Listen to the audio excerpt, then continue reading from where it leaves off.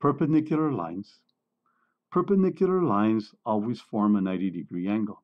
This is a symbol for 90 degree, it's a square. So when you see this symbol, that means that's 90 degrees.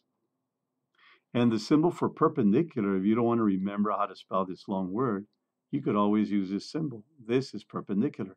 Line 1 is perpendicular to line 2. Now notice that line 1 is coming down and line 2 is going up. That always is the case when you have perpendicular lines.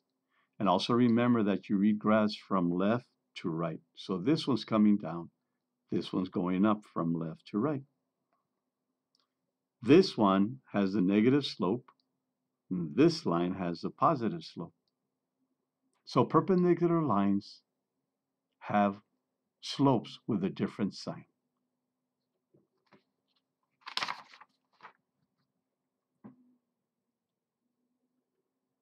The slope of a perpendicular, the slopes of perpendicular lines are not only opposite in sign, but are reciprocals of each other. Here's an example. Suppose these were the slopes of line 1 and these were the slopes of line 2. So if the slope of line 1 was equal to 2, then the slope of line 2 would be negative 1 half. If the slope of line 1 was 3 fifths, the slope of line 2 would be negative 5 over 3. If the slope of line 1 was negative 2 sevenths, the slope of line 2 would be 7 over 2. So two things happen. The sign changes, and the numbers are flipped around. So if you have the slope of a line, and you want the slope of the perpendicular line to that one, you flip the number around, find the reciprocal, and switch the sign.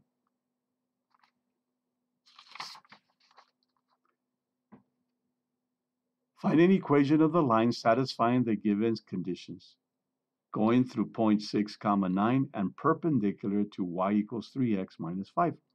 So as soon as you see the word perpendicular, you zero in on the slope. The slope is the one that determines perpendicular. So you identify the slope of the given line, which is a 3.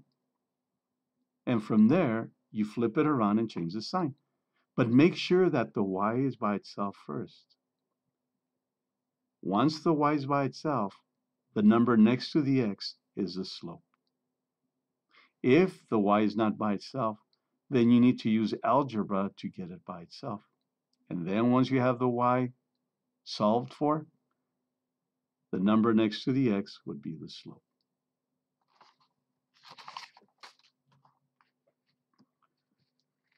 Since we have the y all by itself, the slope is 3 for the line that they gave us. So m equals 3. m is the slope. And we need to come up with a line that's perpendicular to the given line. Since we have already know the slope here, all we have to do is flip this number around, find the reciprocal, and change the sign, and then replace it for the m. So this is the line that we're constructing. So now we have the slope of the line we are coming up with. Now use the point they gave you to find the b. So 6 is the x and 9 is the y. Plug them in, simplify, solve for the b, and b turns out to be 11. Therefore, the line that's perpendicular to the one that they gave us and going through the point that they gave us is this one. This is the equation of that line.